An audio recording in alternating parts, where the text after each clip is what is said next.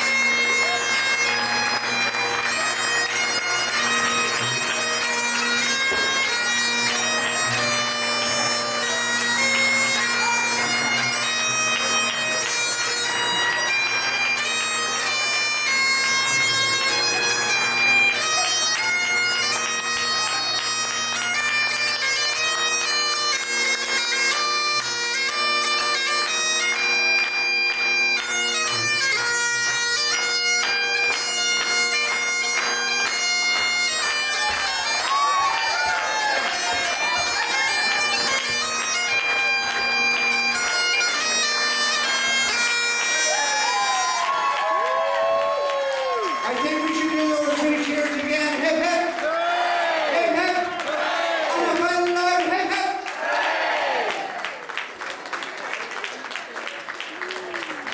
And a. And very importantly, what about a huge round of applause for the piper?